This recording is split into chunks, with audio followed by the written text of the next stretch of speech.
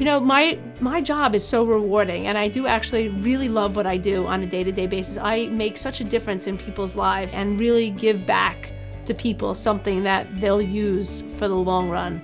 It's not an easy process and from day one we explain it's not an easy process, but because I do love what I do and I am so passionate about it, the clients know that they have somebody who's really looking out for them.